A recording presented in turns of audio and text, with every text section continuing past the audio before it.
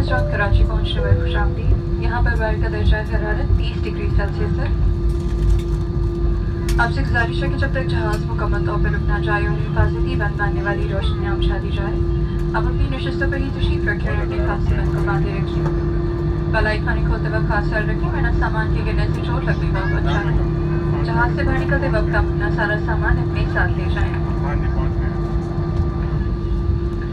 अमी कप्तान सुहेल सर और उनके अमले की जानब से आपका शुक्रिया अदा करना चाहती हूँ कि आपने एयर के साथ सफ़र का इंतज़ाम किया। हम उम्मीद करते हैं कि आपका सफ़र आराम दे रहा होगा। लुक अपना सफ़र मुंतब करने पर शुक्रिया और अल्लाह हाफिज़।